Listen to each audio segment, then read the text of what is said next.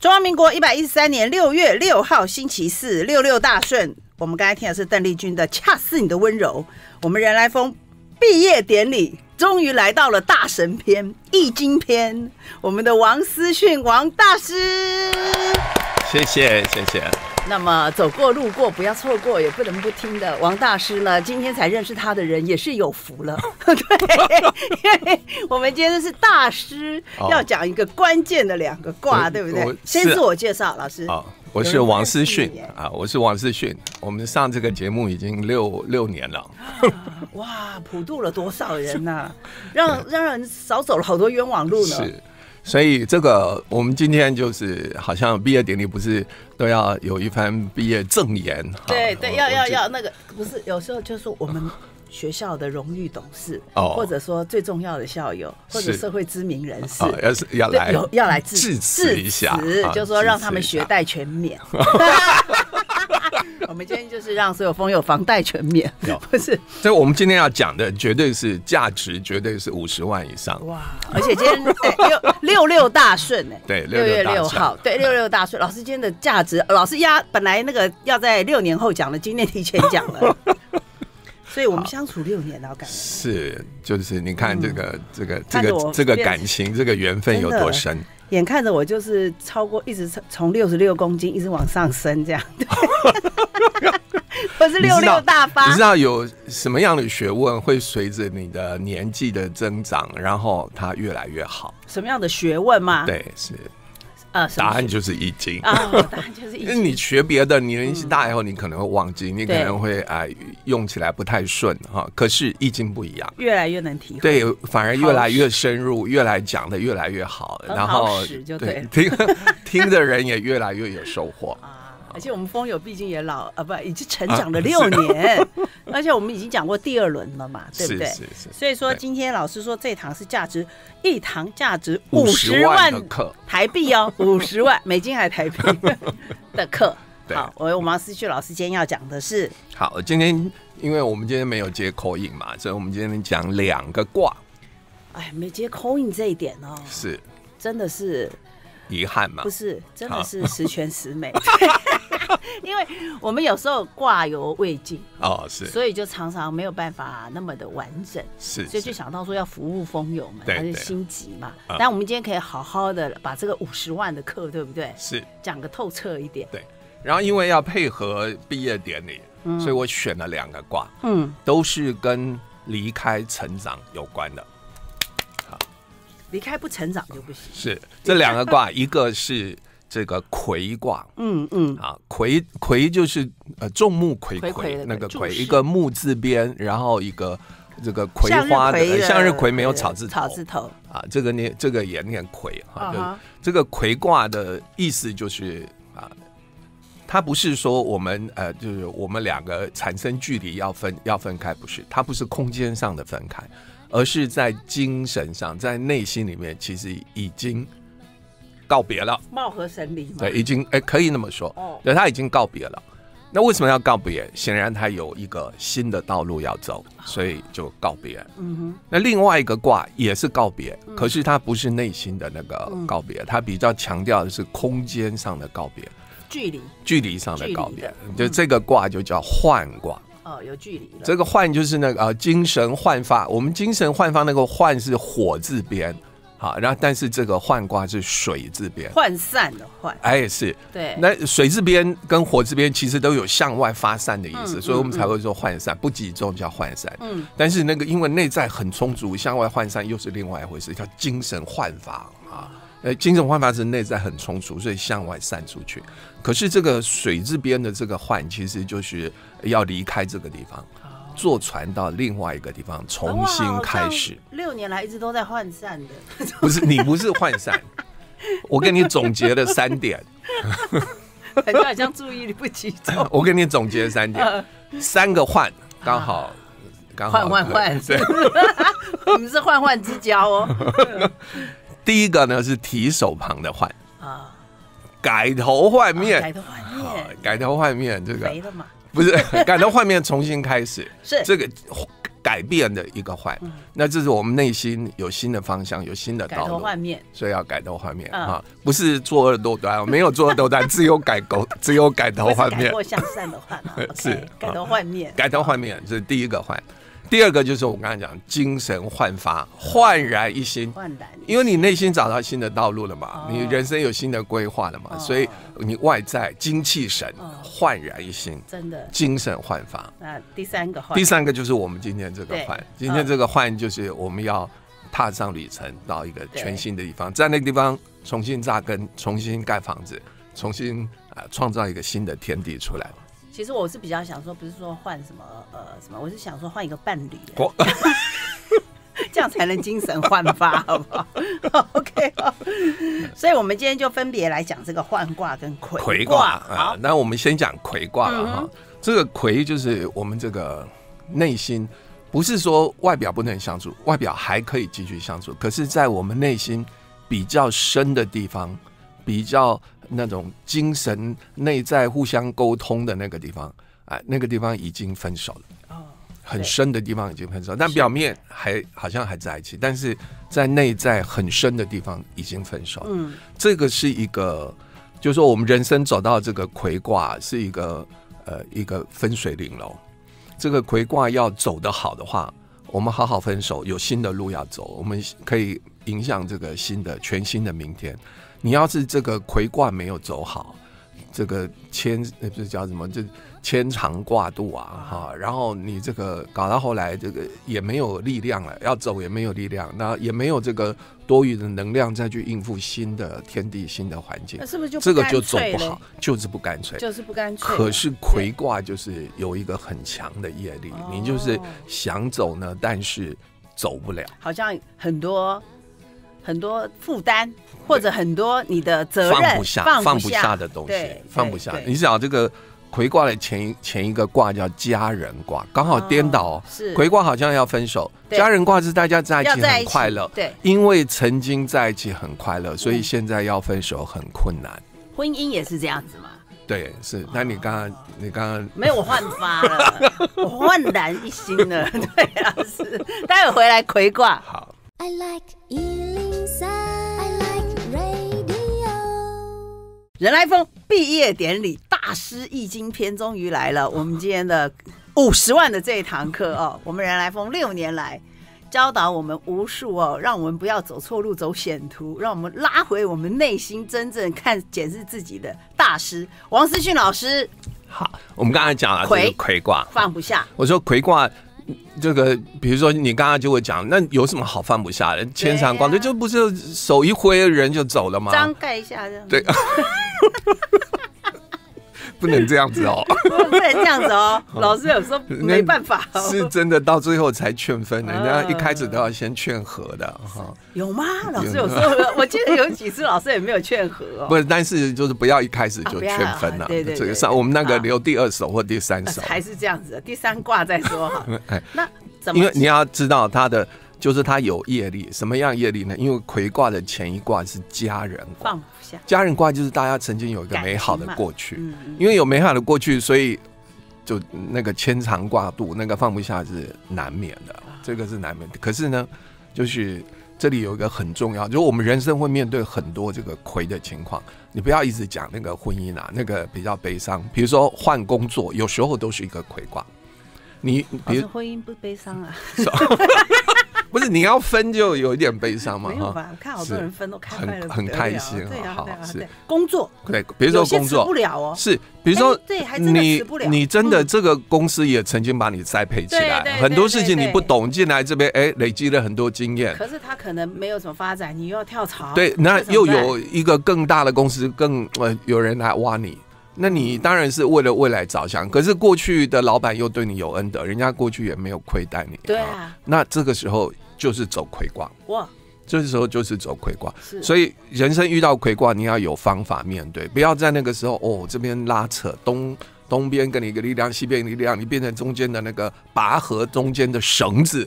哇，老师，那那他怎么样做出正确的抉择呢？对，是这个就是最大的关键对。啊，因为左也有左左一右二都有人拉扯的话，他怎么我做？我给几个建议，五十万来，我对，这是最重要的是我关键哦，五十万的精华在这。是你有没有明确的道路跟方向？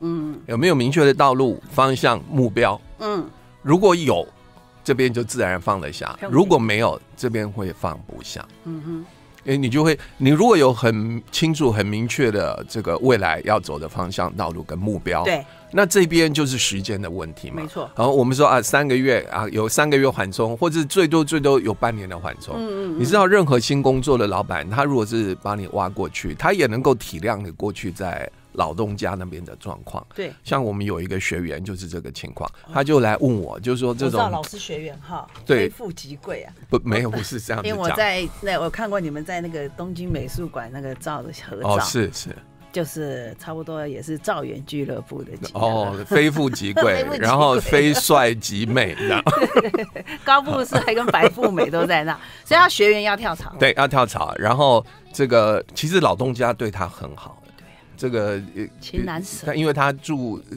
那个他的住家跟公司距离比较远，什么他的上班很多都规定都放宽，对他呃，比如说你可以晚一点来上班什么的，因为他是个人才。对，是个人才。所以正因为这样，所以他要走就走不了，他就来问我，我就问他说：“那你到新的工作这边是不是有一个明确的方向？”丢一卦啊。对，他说有，他真的是他有一个他想要去完成的事情，在原来这个公司没办法做，是，在新的公司可以做。嗯，那我就说，如果你有明确的方向跟你如果没有明确的方向跟目标，那其实就是薪水的问题。对，那只是钱，对，只是钱。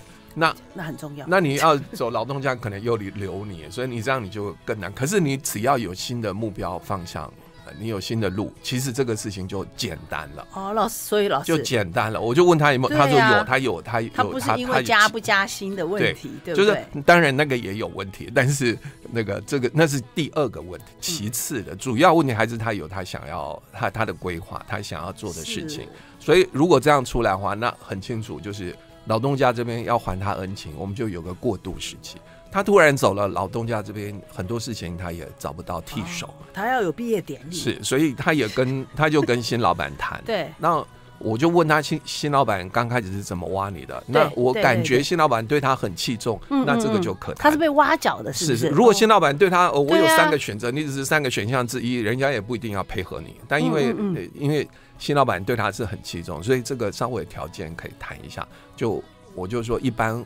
一般行社会行情啊，你大概呃原来老东家这边你突然离开有困难，大概三个月的缓缓冲期、啊，对对新东家可以接哦，受，而且还有一点就是说，给人家这个三个月，他比较能够，你要交接的，对对不对？其实有差不多够时间让他去找一下，所以嗯他去一谈，哎、新东家同意三个月，你这三个月之内，你可以其中有一天到老东家那边去，就可以了。哎、你可以去处理一些，比如说啊、你有一些工作，还还对方还需要有人来接班等等，然后有三个月的时间，每一个礼拜一天，老师，那他到新东家以后有那个焕然一新吗？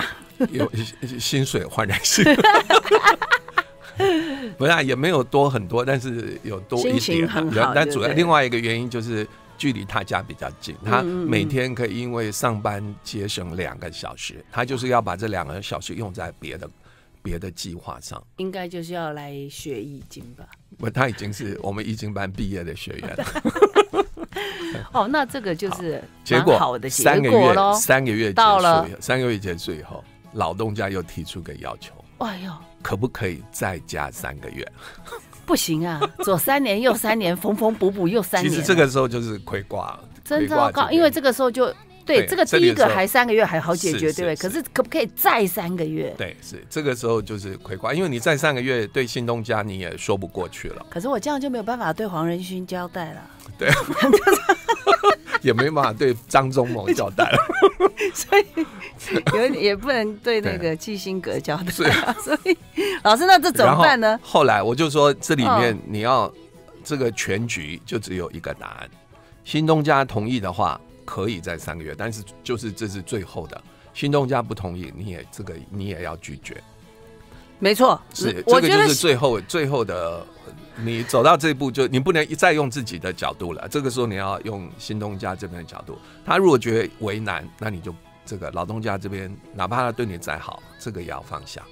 但如果新东家觉得，哎，过去这样每个礼拜一天，呃，如果还要继续，那可不可以两个礼拜一天哦，好不要不要每个礼拜一天。答案等一下揭晓。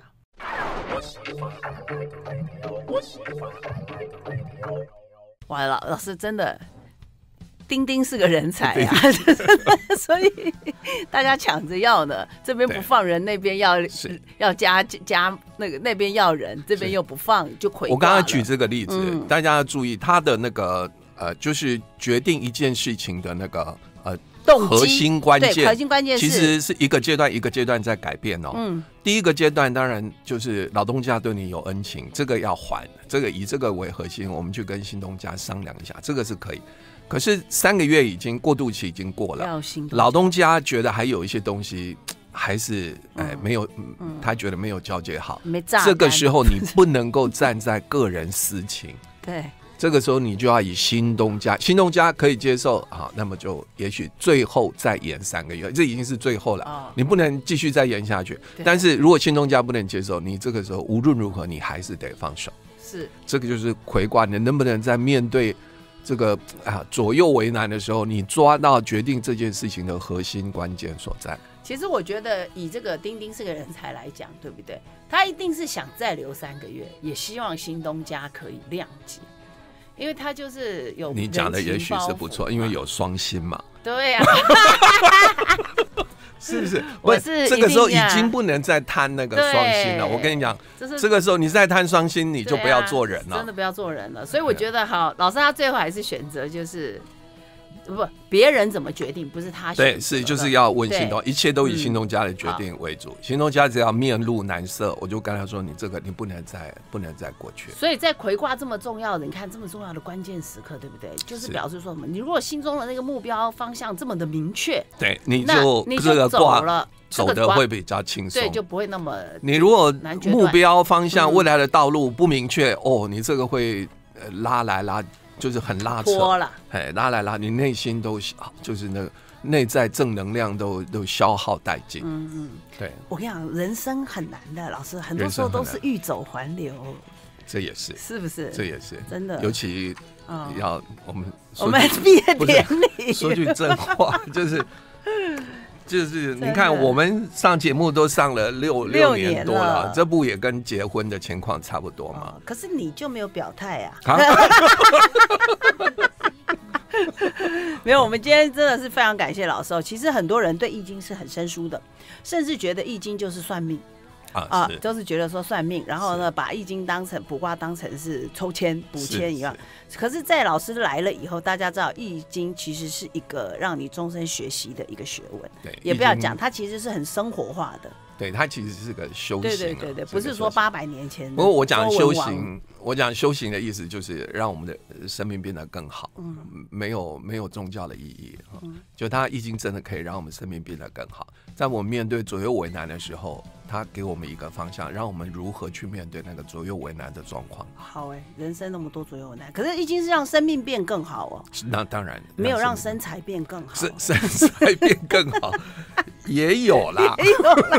你要六十四卦融会贯通一通，卦，一卦你就少吃一点哈。是 OK 好，老师，那在葵卦到这边吗？葵卦还有一个最后一个一个重点要跟大家讲啊，就是说这个葵卦它有一个很深的缘分，你走不了，就是因为有一个很深的缘分。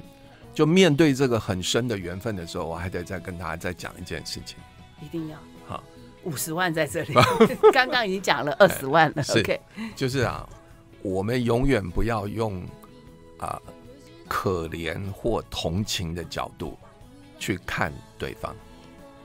我们不是要用同理心吗？哎，我跟你讲，这非常重要。这个这个，你这个反应啊，让这个五十万变成一百万了。哦，哎，因为大部分因为大部分人都是你这个反应，这样我就发觉它更、更有价值，对对，大家就更有价值所以。我们错了。千万不要用可怜或者同情的角度，因为你走不了，有时候就会啊体谅对方啊，他那个哎很难很为难，或者你都是站在对方角度去想，某种情况你就是用可怜跟同情的角度哦，去看待对方。是，所以走不了。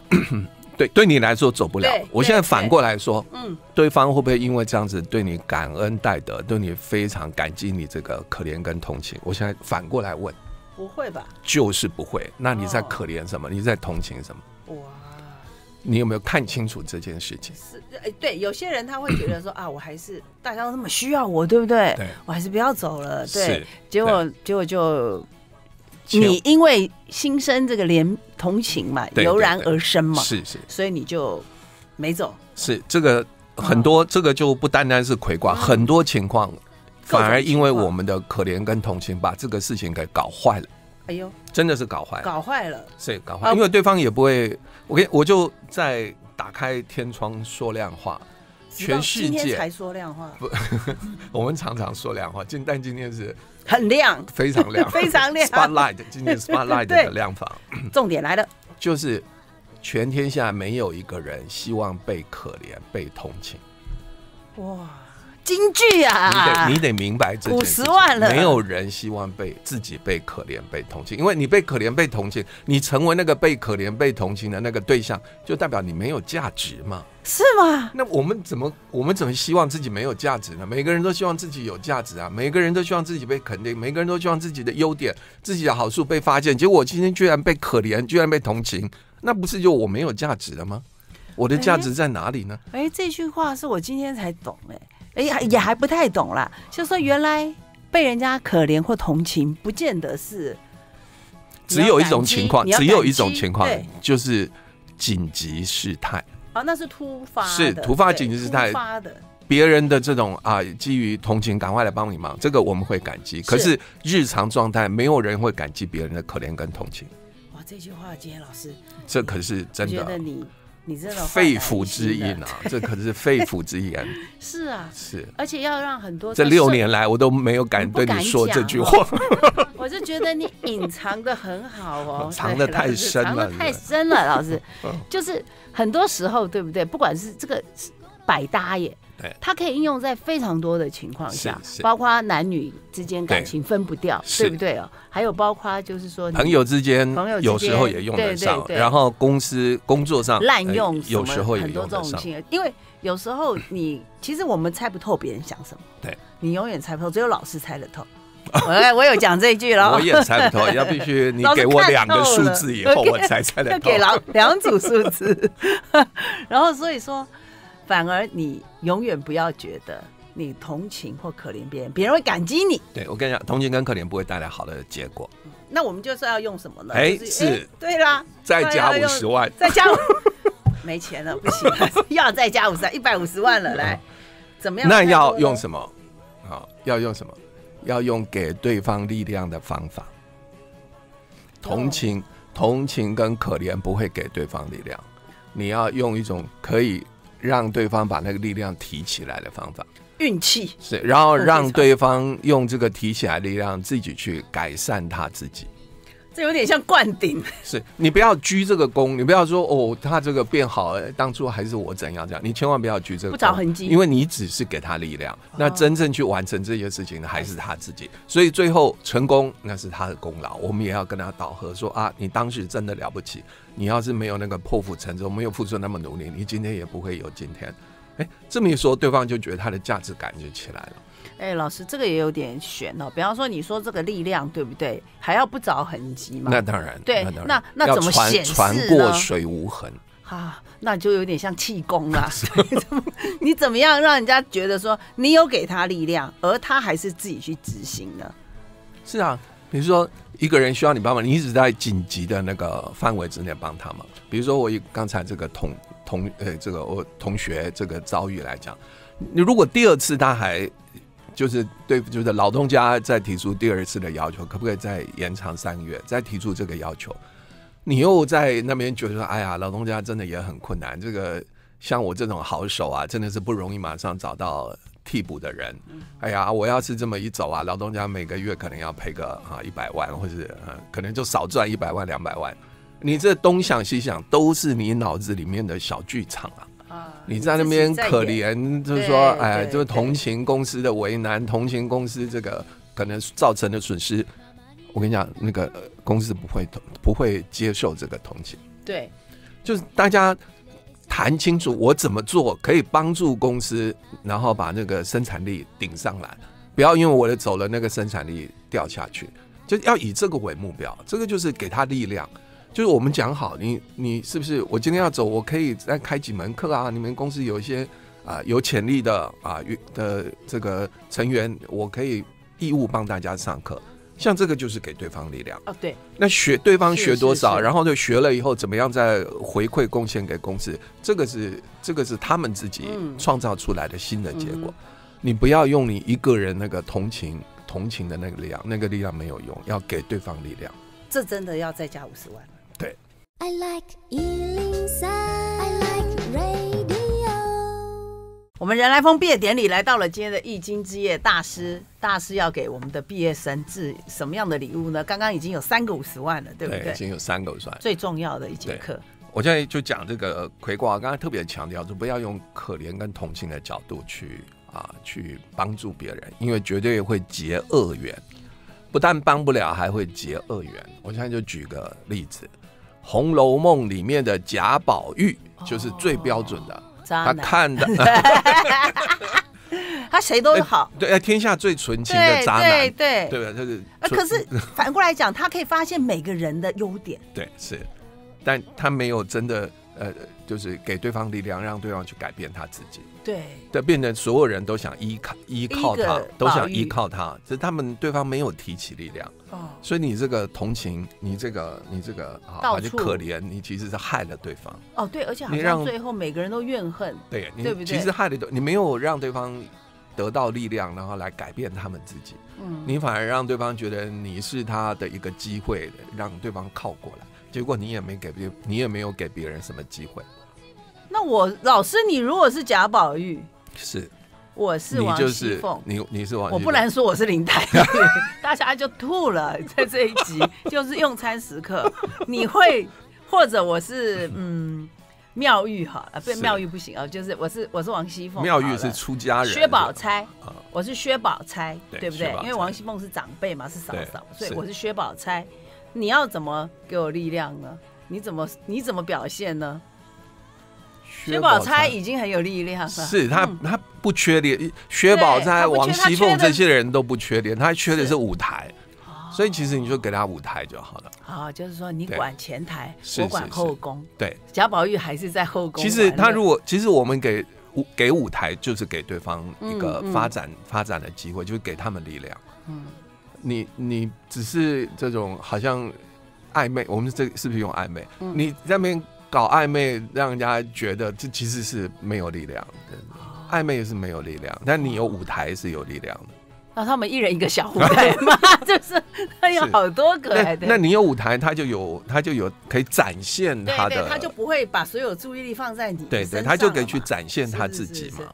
还是要给他一些作业了，给他们一些作业写一下。所以你看，不也嗯很多大老板如果有这个，小三，哎呀，对我 话都不好说，但是你 你说比较合适，今天要打开天窗说亮对吧？那你就他们就会就是另外弄弄个公司给那个小三，就其实就是这就是一个，这就是这其实是一个好的处理方式。对对，这反而就是说你不要一直黏着我，对。啊，你就去用一下 Excel 算一下你今年可以赚多少钱比较好一点嘛，对不对？是，是哦，懂了。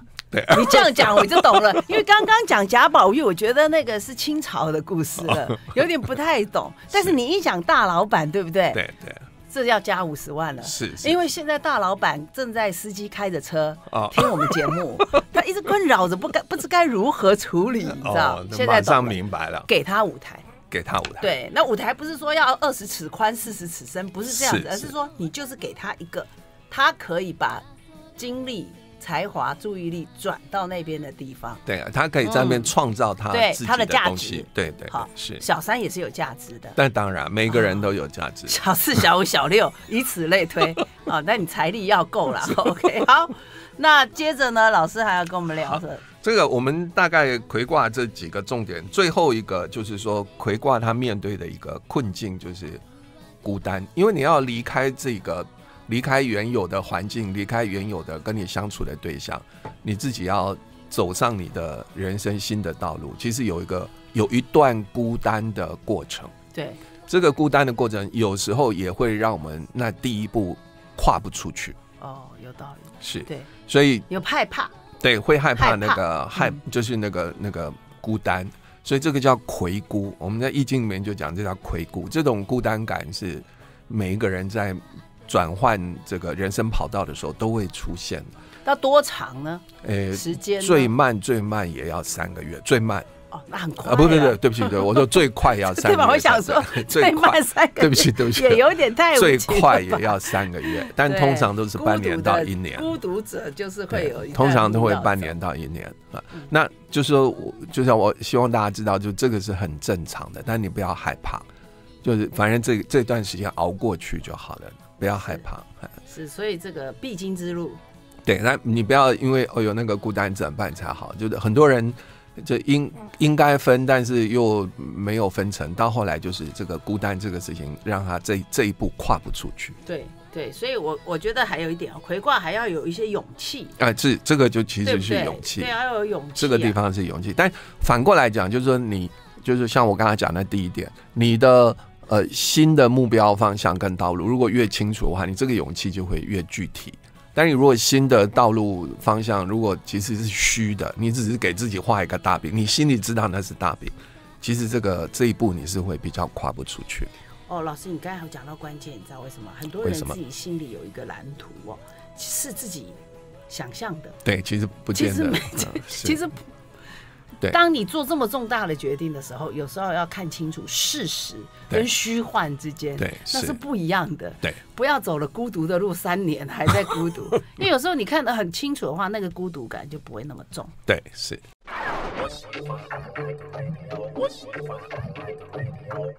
好，我们人来疯毕业典礼，今天不是毕业生自答词，今天是我们的特别来宾，也就是我们毕业毕业典礼最重要的贵宾王思训老师。今天开挂了，OK，我们今天的就是已经开两百外两挂百五十万了。那大家，很多风友说，老师，我们以后要在哪里听你的谆谆教诲了？我们还想 call in 进来，或者说我们还想跟你聊天、上课。那老师，你的那个得给我们不孤独的路啊。这个你如果想听我一些，其实我们有朋友，就是有会有学员，他们会把我上课的内容会啊、做一些短片，嗯，啊也会在 YouTube 上，所以你可以在 YouTube 查我的名字王思训，你可能就会跑出很多几几十个短片吧。不。行啊，老师，你打王师就会跳出人来疯，所以你 麻烦您讲的要。乐意讲堂对？你，你也可以，就是要这样子。你在网络上，你也可以打“乐意讲堂”是是是四个字，是乐意讲堂才乐意讲就快乐的乐，呃，然后易经的易。易经的易这个乐意讲堂。嗯那你也可以从乐意讲堂，你可以连到我们的脸书。那脸书我们都会有新的活动讯息，都会在上面公布。然后老师占卜时也会去高雄哈、巡田一下，是对对对。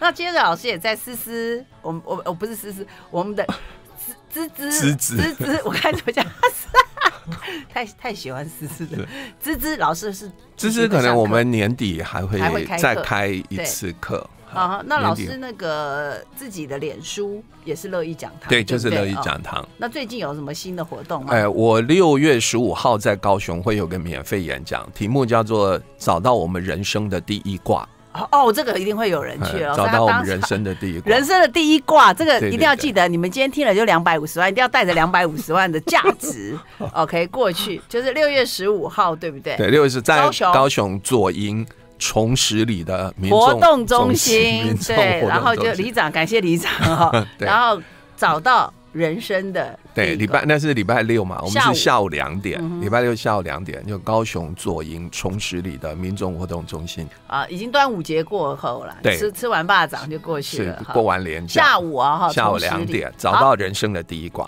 OK，好，那老师，我们接着还要再讲就稍微再讲一下这个，我讲那个换卦，好，就换卦是呃交换的换，但是不是提手旁，是三点水的换。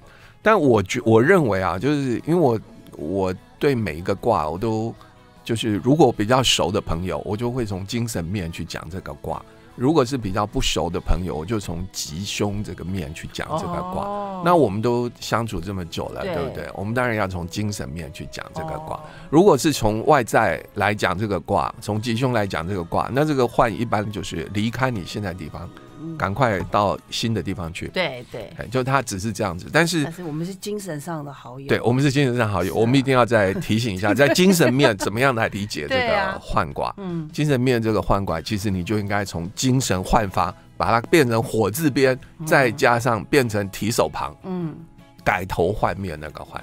就呃虽然你的呃你可能职场啊跳到另外一个地方去，呃工作地点呃跳到另外地方，这这都符合换卦啊，但是你的内在改变了没有？